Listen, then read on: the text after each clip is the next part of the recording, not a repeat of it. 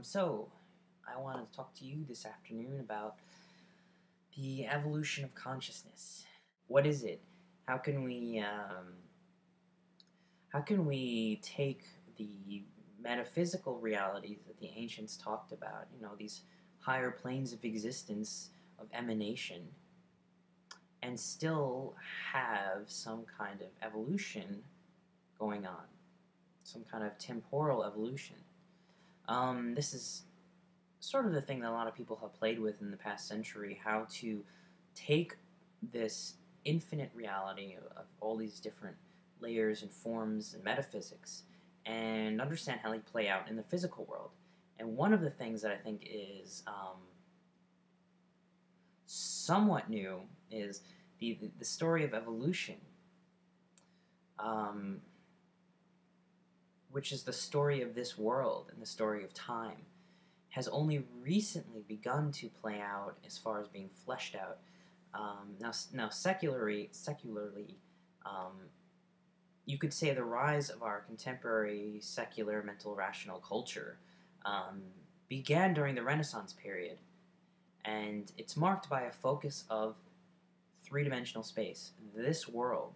Ancient societies perhaps uh, understood certain dimensions about this world as far as you know building a civilization and agriculture and, and forms of mathematics but they were very much centered or focused on the metaphysical realities and you could say the, the inner space the psyche um, and they saw how it was reflected in the outer world of form.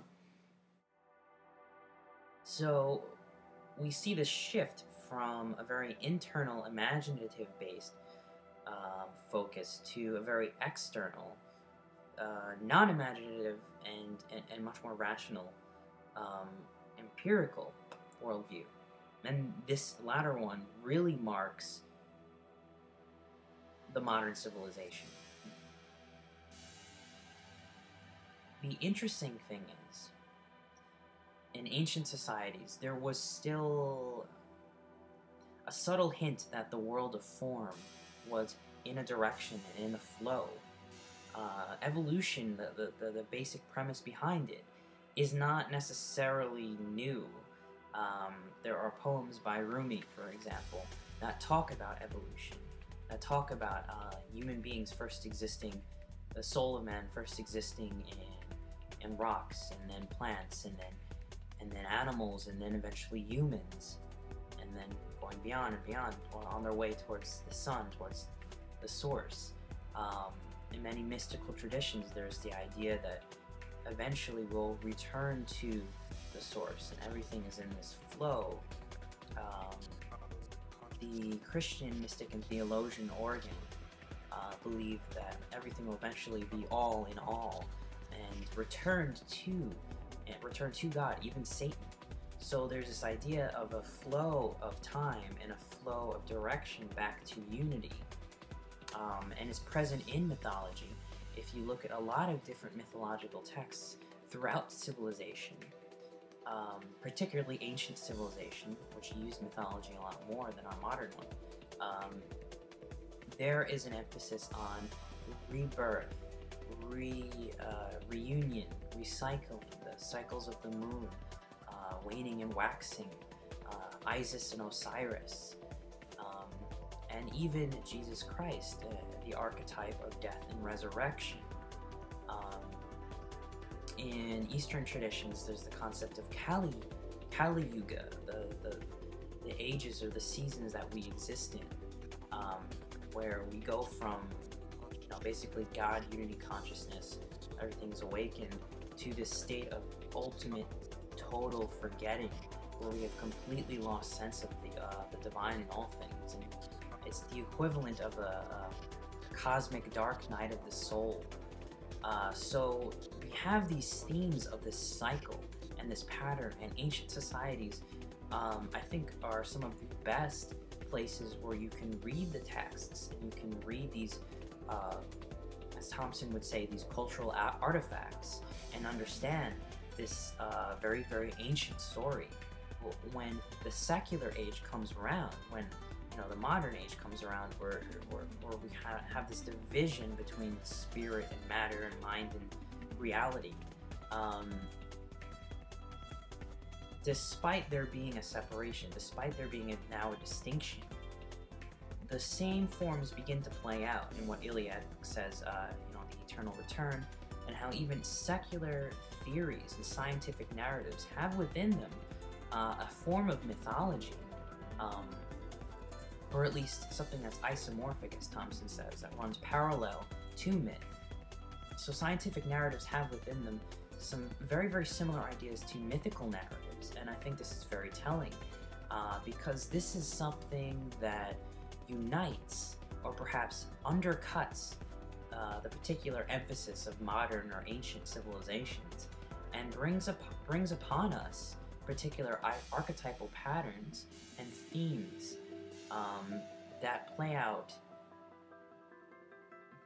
mm, beyond the form. Um, the forms play out these, uh, I guess you could say, divine or spiritual themes about the universe. Uh, and continuing on this in the, the story of the evolution of consciousness, um, in ancient societies, there was sort, there was the idea that we had fallen away, and uh, the story of um, you know Adam and Eve leave, leaving, being banished from the Garden of Eden is perhaps a great example. The fruit of knowledge, though, uh, though Adam originally was using it very well and naming all the animals, um, fruit of knowledge eventually, by eating from the tree of knowledge, he's, he, he suddenly saw, saw himself naked and suddenly uh, was divided from nature and divided from creation. Um, there's the idea that myth actually not only runs parallel to to scientific narratives, but actually um, is an, is also also, but not limited to, an ancient way of telling these narratives. That um, there's scientific, uh, there there's almost like a racial, and this may seem a little far fetched, but it's almost like there is a racial or, or um, almost like a genetic memory of our ancestors and their experiences. Uh, because within myth, we have evolutionary narratives of transformation that, uh, that actually sync up very well, and I think is a great way to re understand myth in a modern context without projecting too much on it. Um, so, with all of this in mind, and considering that many ancient societies had the idea that there would be a, a, a very dark age, a very a dark night of the soul before an awakening, before redemption, before resurrection, um, before the full moon, so to speak, um, going way back. Um, then the the secular age itself becomes a part of this grand story. It becomes, for humanity and for the evolution of consciousness, the dark night of humanity, the complete disconnection from spirit, the complete forgetting. I mean, that's what a dark night is. It is not just a, a questioning, but by having a lack of connection to the divine, uh, you begin to see nothing more. You begin to be almost helpless and need a guide and need some kind of powerful transformation. Um, so I think we're going through that right now. I think the reason why it's so popular to be secular and to be to deny spiritual realities and to misunderstand myth is a part of this cycle. Is a part of this great forgetting in which hopefully they'll be um, as dark as it is. Hopefully it will be just as bright eventually. Um, so this kind of puts human beings back in, into a mythology, but extended beyond the a relative mythology. We live in a time now where all of the world's perspectives are kind of just in front of us. So really, we can re reintegrate mythology and reintegrate the imagination at a whole new level and scale. And um, yeah, that's it for this time. Uh, thanks for listening.